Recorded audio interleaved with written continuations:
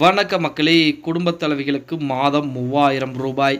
வெளியான முக்கிய அறிவிப்பு. இந்த மாதிரி தினம் தினம் வெளியாகக்கூடிய அரசனுடைய உண்மையான தகவல் உடனுக்குடனே நீங்கள் தெரிஞ்சுக்கணும்னு நினச்சிங்கன்னா நம்ம சேனலை சப்ஸ்கிரைப் பண்ணி ஃபாலோ பண்ணிக்கங்க. அப்படி இந்த வீடியோ பிடிச்சிருந்துச்சு அப்படின்னா ஒரு லைக் பண்ணுறதுக்கு மட்டும் மறந்துடவே மறந்துடாதீங்க.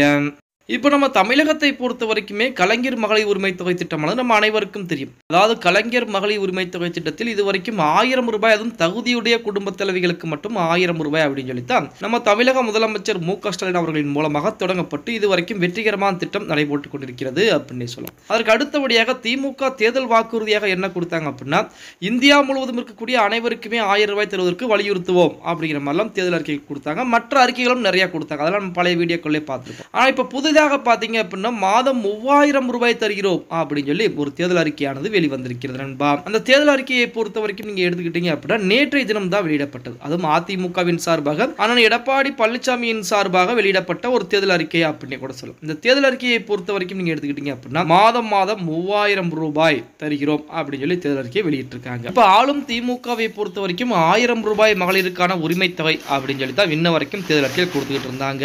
ஆனால் தற்போது புதிதாக வந்த தேர்தல் அறிக்கையின் அடிப்படையில் பார்த்தீங்க அப்படின்னா அதுவும் மாதம் மூவாயிரம் ரூபாய் தருவதற்கு மத்திய அரசை நாங்கள் முறையிடுவோம் அப்படின்னு சொல்லி தான் தற்போது பார்த்தீங்கன்னா தேர்தல் அறிக்கையானது வெளியிடப்பட்டிருக்கிறது. இப்படிப்பட்ட ஒரு சூழ்நிலை அதாவது தற்போது இருக்கக்கூடிய சூழ்நிலை எடுத்துக்கிட்டோம் அப்படின்னா இப்போ மத்திய அரசை பொறுத்த வரைக்குமே பாஜக அரசு அதே போல வந்து கீழே தமிழகத்தில் திமுக அரசு. அப்போ மத்திய அரசு கொடுக்கக்கூடிய திட்டங்களாகட்டும் அல்லது திமுக அரசு கொடுக்கக்கூடிய திட்டங்களாகட்டும் மத்திய அரசுக்கும் திமுக அரசுக்கும் ஏகப்பட்ட பிரச்சனைகள் போகிறது. இது ஏது பார்த்தீங்க அப்படின்னா மேலிடத்திலே காங்கிரஸ் கட்சி ஆட்சிக்கு வந்தால் திமுக கொடுத்த வாக்குறுதி வாக்குறுதிகளை நிறைவேற்றுவதற்கு அதிகப்படியான வாய்ப்புகள் இருக்கிறது அப்படின்னு சொல்லி. இப்போ அதிமுகவை பொறுத்த வரைக்கும் மத்தியில் யாரையுமே ஆதரிக்கவில்லை. மத்திய அரசை நாங்கள் கண்டிப்போம். அதாவது மத்திய அரசுக்கு வலியுறுத்துவோம் அப்படிங்கிற மாதிரி தான் தேர்தல் அறிக்கையில் கொடுத்துருக்காங்க. அப்படி தான் கொடுக்க முடியும். ஏன் அப்படின்னா இவங்க தான் மத்தியில் யாரையுமே ஆதரிக்கலையே. அப்படி இருக்கக்கூடிய சூழலில் மாதம் மூவாயிரம் ரூபாய் மகளிர் உரிமை தொகை மாதம் மூவாயிரம் ரூபாய் வழங்க மத்திய அரசை வலியுறுத்துவோம் அப்படின்னு சொல்லி தேர்தல் அறிக்கையை கொடுத்துருக்காங்க இந்த தேர்தல் அறிக்கையை பொறுத்த வரைக்கும் நீங்க எடுத்துக்கிட்டீங்க அப்படின்னா அது நடைமுறைப்படுத்தப்படுமா அப்படின்னு பார்த்தா நடைமுறைப்படுத்துவதற்கு மத்திய அரசு கண்டிப்பாக ஒத்துழைக்க வேண்டும். இப்போ ஆளும் எதிர்கட்சியாக அதிமுக இருந்தால்